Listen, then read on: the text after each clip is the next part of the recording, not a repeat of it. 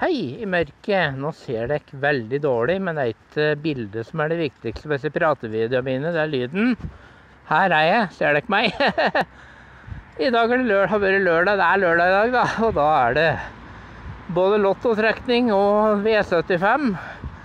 Og jeg spiller på begge deler. På V75 i dag så hadde jeg fire rette. Det ble ikke noe premie på det.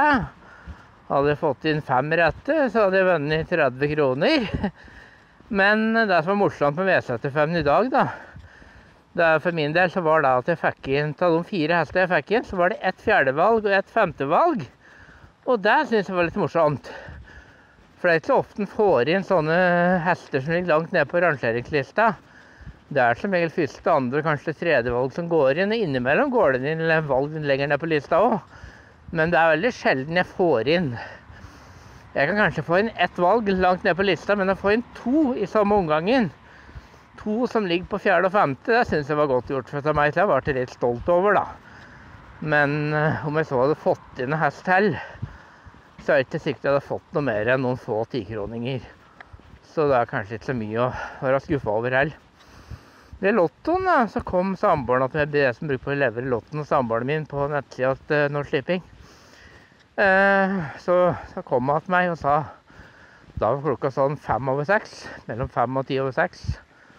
Da sa han at jeg har glemt glemt Lottoen min er gått ut, sa for å ha fem ukers lotto. Så lottoen min er gått ut. Da sa han til meg ja, skal vi se, så jeg på klokka. Altså, søren, det er jo fem minutter siden fristen gikk ut. Den gikk ut klokka seks. Så jeg er for sent å levere nå, men jeg kan levere til jeg svarer til neste uke, sa jeg. Så jeg gikk inn på Norsk Tipping og leverte, altså har ifra fra meg neste lørdag igjen. Og da sa jeg at da blir det spennende å se trekningen i kveld, og se om du har gått glipp av noe til. Og så sjekker jeg tall etter trekningen, og første øyekast så ble det litt, sånn Jeg skvatt litt, liksom, for det så ut som det var mange tall som kunne ligne på hennes. For hun har en del ganske lave tall på kupongen sin. Men så så jeg fort at det hadde bare Ja, hun hadde tre rette. Tre rette hadde hun.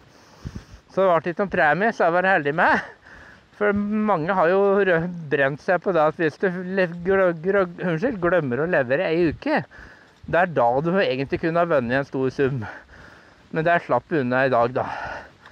Så hun sparte den sparte den tikroningen som hun normalt sett ville brukt på levert lotto i dag, da. Så da ble vi redda gongongen, som det heter. Jeg fikk heller ikke noe lottopremie i kveld. Jeg hadde vel to rette. Når det er lotto, så tipper vi begge faste tall. Vi har hver vår faste kupong. Min kupong har gått helt siden 1987.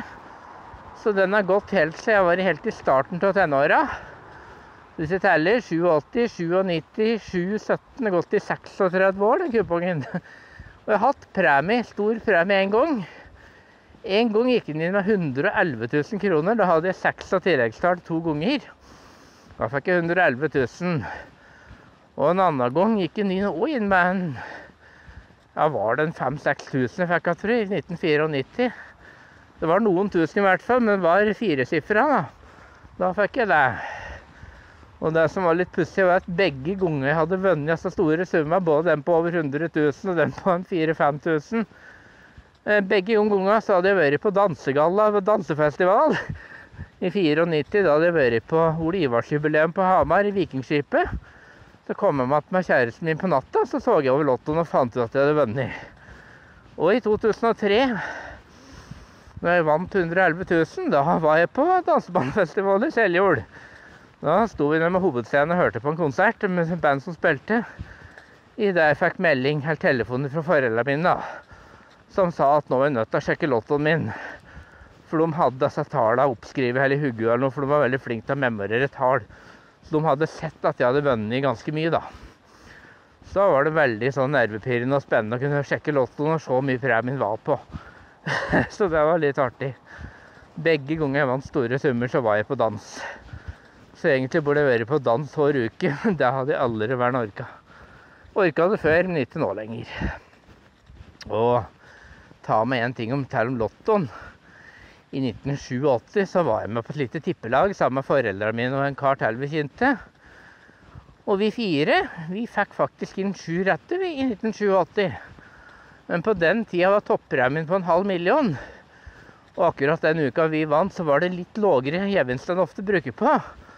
Så da endte premien, på 244 000. Og det skulle jo deles på fire personer, så da ble det 61 000 på hver. Så de penga brukte jeg vel til Jeg satte meg opp på sparekontoen min, så gikk de sånn meg i budsjettet. Da jeg skulle ta førerkort og kjøpe meg første bilen min.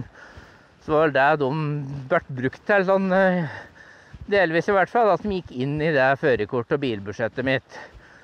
Så da fikk de i hvert fall gode bein å gå på, for å si det sånn. Så jeg har vunnet ja, Kanskje jeg har vunnet oppimot en halv million. Ja, kanskje, jo, kanskje nesten oppimot en halv million til sammen. Hvis jeg legger sammen alt jeg har vunnet på de årene jeg har spilt lotto og tipping og trav og alt mulig sånn. Så det har blitt noen inntekter. Men om jeg har gått i overskudd, det vet jeg at jeg må regne litt på, tror jeg. Hvis jeg sier at jeg har vunnet igjen 400 000, da, så kan jeg regne ut hvor mye jeg har brukt på å tippe. Siden, siden jeg begynte, jeg var veldig liten da jeg begynte, men siden jeg begynte å bruke mine egne penger på 80-tallet, så har jeg brukt ganske mye penger. Men det er mye mulig jeg har gått litt i overskudd hvis jeg tar med disse to store premiene mine. Så ja. Mulig jeg har gått i overskudd, men jeg skal ikke si det sikkert, for det har jeg ikke regna på. Da har jeg sagt litt om pengespill. Har du noen kommentarer, så skriv det under. Hvis ikke, så takker jeg til har sett på. Ha det bra og på gjensyn.